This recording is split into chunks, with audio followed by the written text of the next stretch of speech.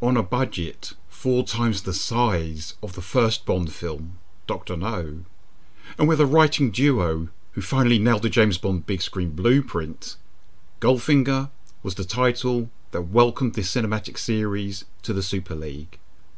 I'm Stephen Archibald, and welcome to my movie podcast.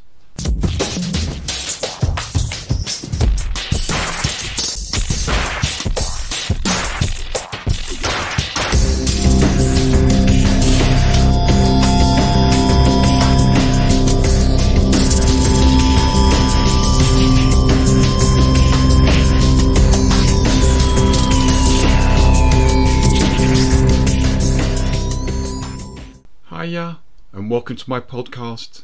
They came from within cult movie reviews. Solid gold, easy action. Goldfinger, 1964.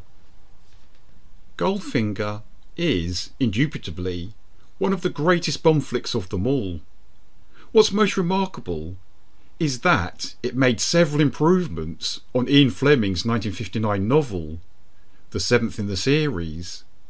The source novel has strong characters, and we are given more access to James Bond's thoughts and feelings than in any other Fleming book about the killer agent.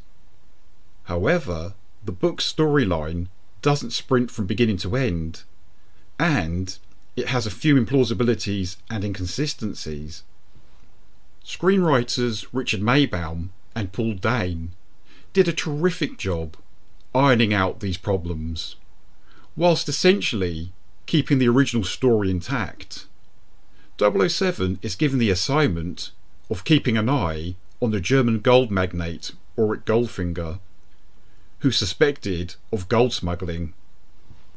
Bond is soon caught up in an elaborate, highly dangerous scheme known as Operation Grand Slam, one which involves irradiating the gold stored in Fort Knox, so as to massively increase the value of Goldfinger's own bullion supply and to destabilise the US economy to the benefit of the Chinese. Fears of economic instability, eh? This really is a film for our times. Unlike the previous two pictures, Goldfinger was not directed by Terence Young. He would return for a third and final time on the next one, Thunderball. Guy Hamilton took the directorial post on Goldfinger, and he would go on to also direct Diamonds Are Forever, Live and Let Die, and The Man with the Golden Gun. To date, Hamilton's the only man to direct four Bond movies. In fact, he had been asked to helm Dr. No, but turned it down. Guy was already familiar with Ian Fleming due to their naval intelligence days during World War II. Pussy Galore, the bondwoman with the most outlandish, most celebrated name in the whole series. Auric's head pilot from a team of all female pilots. The striking British actress Honor Blackman was picked by the producers for this role. It helped that she was a real life judo practitioner. Cubby Broccoli was impressed by Honor's talents on the wonderful TV series The Avengers, which had not been shown in the United States at this stage. So, her familiarity would delight UK audiences, whereas her novelty value would appeal to our US cousins over the pond. As expected, Honor gave a memorable performance. One of the improvements the writers Maibaum and Dehn made to Fleming's original story was to make Pussy's romantic liaison with Bond, at the end of the picture, far more credible.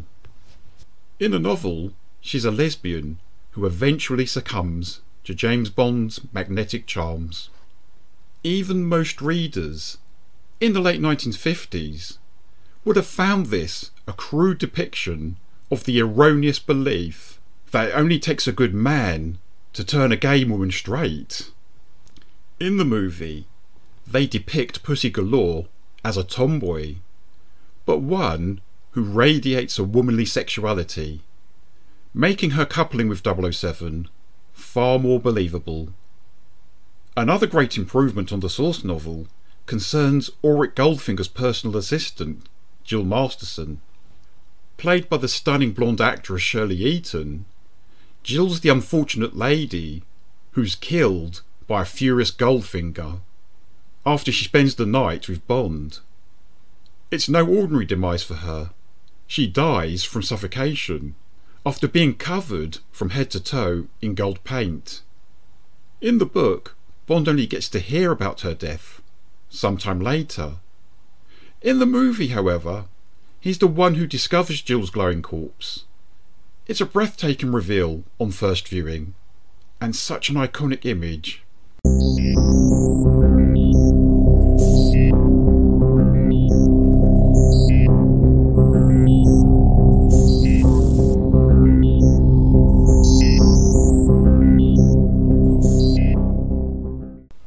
What's also better handled in the movie is the torture sequence, where Bond is strapped to a table and a laser beam is threatening to emasculate this womanizing agent before rendering him in two.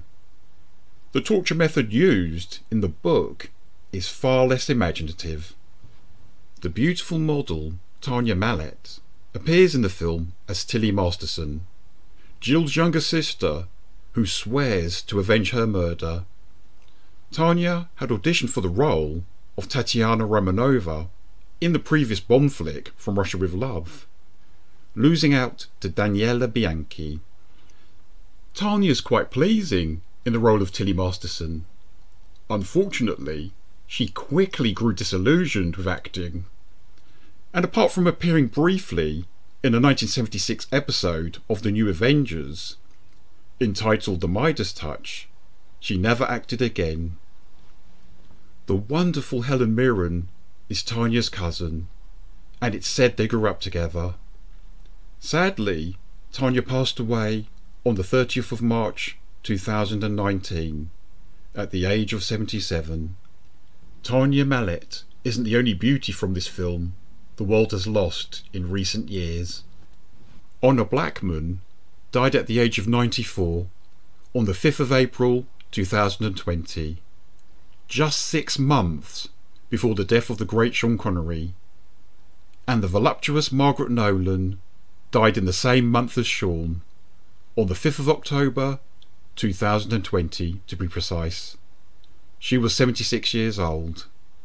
Margaret, who appeared in six Carry On films, most notably Carry On Girls from 1973, plays Dink in Goldfinger. Bond's masseuse during the sequence set in Miami. It was a near naked Margaret who posed for the opening credits, as scenes from the previous Bond movies were projected onto her body. She also posed in gold coloured skin paint for the ad campaign. Orson Welles was originally set to play Auric Goldfinger, but he priced himself out of the job the producers were bowled over by the performance Gert Fröbe gave in a 1958 German language film called It Happened in Broad Daylight, where he portrayed a serial killer of children. Whereas it was the director Guy Hamilton who spotted Harold Sakata on a wrestling TV program. The Korean Olympic weightlifting silver medalist was perfect for the part of Oddjob, Goldfinger's bowler-hatted henchman, arguably the most memorable of all the Bond villain sidekicks. The movie's cracking theme tune was performed by the Welsh diva Shirley Bassey, a song penned by Anthony Newley and Leslie Bricusse. Up until now, Shirley's the only recording artist to sing on three different Bond theme tunes. She followed Goldfinger with Diamonds Are Forever and Moonraker. And John Barry's brassy, sassy music score is simply outstanding. Goldfinger was the first Bond movie to win an Oscar. Norman